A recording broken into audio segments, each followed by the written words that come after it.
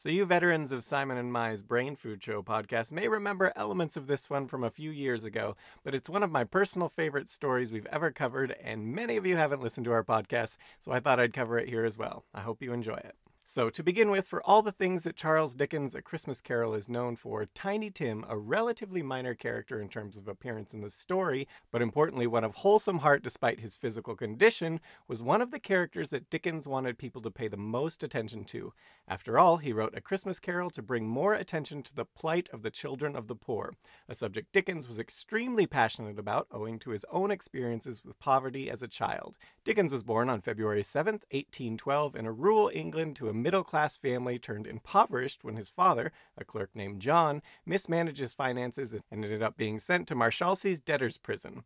As was the practice at the time, most of the family joined him in jail, but not so for Charles, who was deemed old enough to make his own way in the world. And so it was that the 12 year old boy was moved into cheap lodgings away from his family, removed from school, and sent to the Warren Shoe Blackening Factory.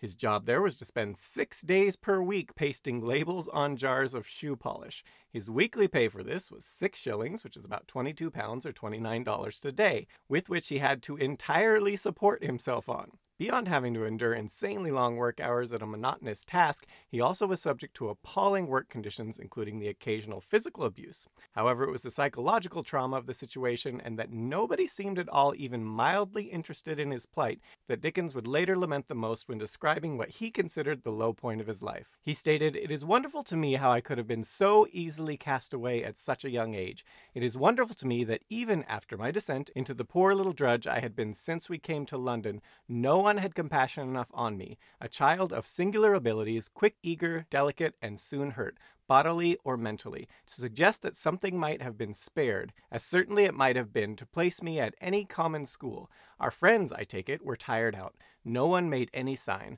My father and mother were quite satisfied. They could have hardly been more so had I been twenty years of age, distinguished at grammar school, and going to Cambridge. The Blacking House was the last house on the left hand side of the way, at Old Hungerford Stairs. It was a crazy, tumble down old house, abutting, of course, on the river, and literally overrun with rats. Its wainscoted rooms and its rotten floors and staircases, and the old gray rats swarming down in the cellars, and the sound of their squeaking and scuffling coming up from the stairs at all times, and the dirt dirt and decay of the place rise up visibly before me as if I were there again. The counting house was on the first floor looking over the coal barges and the river. There was a recess in it in which I was to sit and work. My work was to cover the pots of paste blackening, first with a piece of oil paper and then with a piece of blue paper, to tie them round with a string and then to clip the paper close and neat all around until it looked as smart as a pot of ointment from an apothecary's shop. When a certain number of grosses of pots had attained this pitch of perfection, I was to paste on each a printed label and then go on again with more pots. Two or three other boys were kept on similar duty downstairs on similar wages. One of them came up in a ragged apron and a paper cap on the first Monday morning to show me the trick of using the string and tying the knot. His name was Bob Fagin, and I took the liberty of using his name long afterwards in Oliver Twist. No words can express the secret agony of my soul as I sunk into this companionship, compared these everyday associates with those of my happier childhood, and felt my early hopes of growing up to be a learned and distinguished man crushed in my breast, the deep remembrance of the sense I had of being utterly neglected and hopeless, of the shame I felt in my position, of the misery it was to my young heart to believe that, day by day, what I had learned and thought and delighted in, and raised my fancy and my emulation up by, was passing away from me, never to be brought back any more, cannot be written. My whole nature was so penetrated with the grief and humiliation of such considerations that even now, famous and caressed and happy, I often forget in my dreams that I have a dear wife and children, even that I a man, and wander desolately back to that time of my life. Deliverance from this fate came in the form of John Dickens inheriting 450 pounds upon the death of John's mother, Elizabeth Dickens. With the money, the Dickens family was able to get out of the debtor's prison, though John would later end up back there again, and likely many times had it not been for Charles, due to his habit of overspending. This was not, however, an immediate end to Charles' miserable situation. Rather than being returned to school, he was forced to continue the work at the shoe blackening factory for another year after this, apparently largely due to his mother's insistence. Eventually, however, he was allowed to quit and go back to school. After quick dalliances as a law clerk at the age of 15 and later a theater actor, he became a political journalist covering the House of Commons. At the same time, he also began to write his first fictional pieces under the pseudonym of Boz, a nickname family members had given him. His work began to gain traction, punctuated by Dickens' marriage to his book editor's daughter Catherine and the publishing of Pickwick Papers, which both occurred in April of 1836. Two years later, he published Oliver Twist, and Dickens's road to literary stardom was paved. In 1943, Dickens was only 31 years old and already perhaps the most famous author of his day. Despite this, he was constantly in need of money. Much like his father before him, he had a habit of seemingly always living at the limits of his means. Unlike his father, however, his means were considerable and generally grew over time. This was a good thing as he was also financially responsible for a large family, which included his wife, eventually 10 children, a mistress, brothers, sisters, and his parents. Needless to say, even before all his children arrived and he took up a mistress at the age of 45, he wasn't well prepared financially to handle one of his works not selling well, which is exactly what happened when he published a serial beginning in 1842 that was a relative flop Martin Chuzzlewit. While teetering on the edge of financial ruin, a report came out, compiled by one of Dickens's friends, Richard Henry Horne, that is today considered one of the most important documents in British Industrial Revolution history. In short, the comprehensive report of the Children's Employment Commission details the extreme, unhealthy, dangerous, exploitative, and just generally horrific working conditions many poor children were forced to endure in the UK at the time. The report did this in the most heartbreaking fashion through countless first-hand testimonies of the kids themselves. Stories like teenager Isaac Tipton, who said he started in the coal mines at seven years old, working 12 hours a day, six days a week. Over the course of his duties, he notes he was regularly beaten by the older miners, but, to quote him, I deserved it. There were also more extreme reports of children being killed or mangled owing to being treated as disposable commodities rather than human beings. For example, it outlines the practice of having children climb into industrial machinery to do things like remove jams, with a report noting cases where removal resulted in the child's death when the machine started again with them still inside of it. On top of this, there were stories of young girls working in garment factories sewing with bleeding fingers 16 hours per day, six days a week. The most shocking thing of all brought to light by the massive report was that these conditions were not the exceptions, but more the rule for the children of the poor in the newly industrialized Britain. The report also seemed to debunk by numerous examples a commonly held idea about the poor that they were only poor because they were lazy, drunks, inherently immoral, lacking in intelligence, or were deformed in some way. Along this line of thinking, proposed government aid to such individuals was intentionally harsh, like the 1834 Poor Law Amendment Act, which stopped government aid to the poor unless they went to a workhouse, with said institutions meant just as much to act as discouragement from being poor as to actually help those in need. As such, as factory king Richard Oastler noted, workhouses essentially became prisons for the poor. Families were split in the workhouses, and the work provided was generally incredibly grueling, with little food given to sustain the occupants. On top of that, workhouse masters were deliberately cruel and abusive to those who resided in their workhouses. After all, if workhouse conditions were fully humane, it only encouraged people to remain lazy and immoral, which was, of course, the cause of their being poor in the first place. As you might imagine from all this, there were frequent scandals that emerged about various workhouses, such as reports of starving residents being forced to eat rotting flesh just to survive. Unsurprisingly, as proclaimed by the unnamed charitable solicitor in A Christmas Carol, workhouses were places that many would rather die than go. On this note, the fact that losing one's job might have meant having to go to a workhouse was something that many business owners used to further exploit their workers. This brings us to Scrooge's famous remark if they would rather die, they had better do it and decrease the surplus population. While this seems to us today to demonstrate clearly Scrooge was a true villain, not something a normal person would ever think, this wasn't true in Dickens' day. Besides the popular idea that poor people were only poor because of their own vices, another popular notion was one hinted at by Reverend Thomas Robert Malthus in his famed 1798 An Essay on the Principles of Population. In it, he writes The power of population is so superior to the power of earth to produce subsistence for man that premature death must in some shape or other visit the human race. The vices of mankind are active and able ministers of depopulation. He further notes that the superior power of population is repressed by moral restraint, vice, and misery. Yet in all societies, even those that are most vicious, the tendency to a virtuous attachment is so strong that there is a constant effort towards an increase of population. This constant effort as constantly tends to subject the lower classes of the society to distress and to prevent any great permanent amelioration of their condition. His main overarching point here was that overpopulation would inevitably lead to lower wages and worsening work conditions via more workers available, while simultaneously scarcity of food would result in said sustenance becoming more expensive. The ultimate result of all of this would be famine and disease as the population swelled beyond what could be adequately sustained by available resources.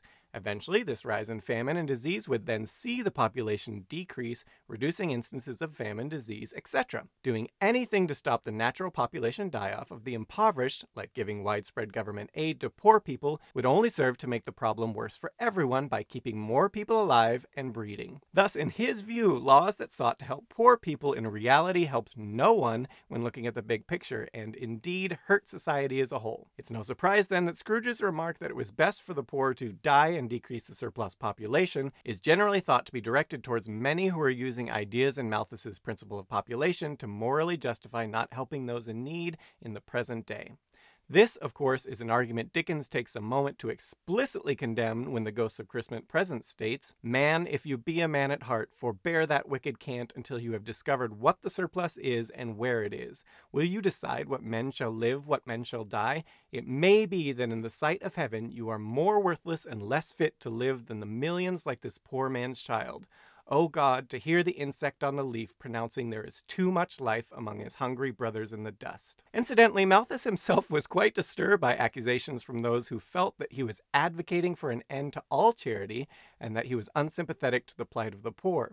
He argued that one of his main points was to try to illustrate the source of the problem and thus help provide a solution via things like controlling birth rates and making sure resources were sufficient to support population growth before such population growth occurred. In any event, Dickens, like many others, was outraged over what he read in the report of the Children's Employment Commission and the second report published in 1843, with the stories perhaps more stinging to him than most wealthy individuals given his own experience as a child laborer.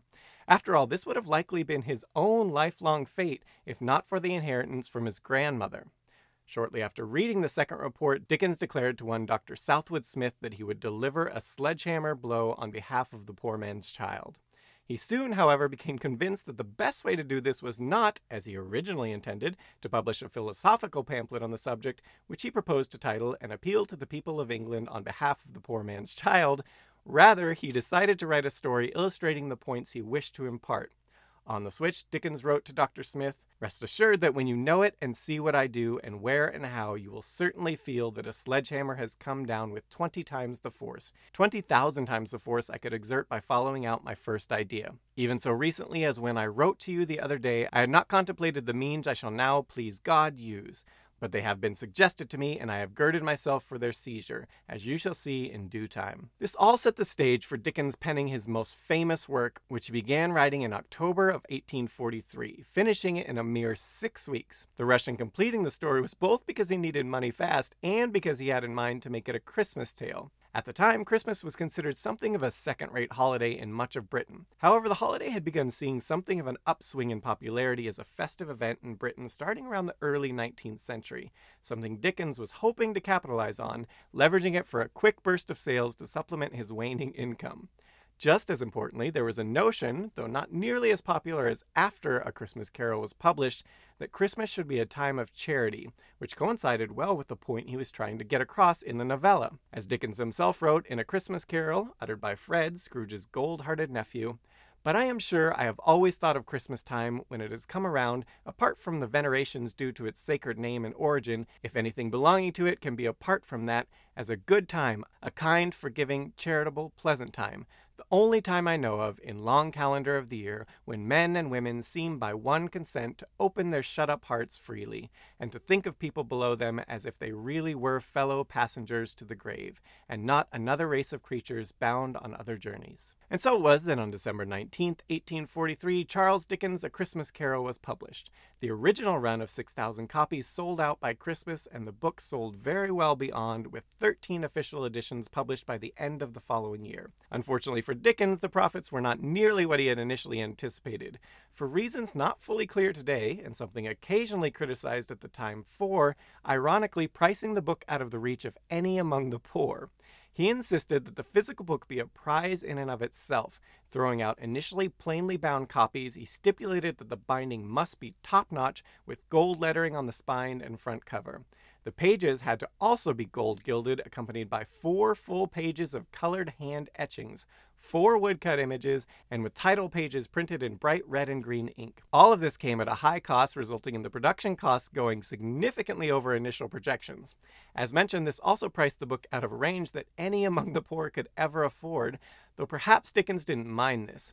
While the book was technically for the poor in some sense, his target reading audience on this was actually those who were a bit more affluent, perhaps explaining his choice to spare no expense in the physical book's construction to help it appeal more to the wealthy on look alone. Whatever his true motivation here, despite the book selling well, the initial high production cost left him with a marginal profit of just £230 off the first run. That's about £20,000 today, a number that was reportedly about four times less than he had originally expected.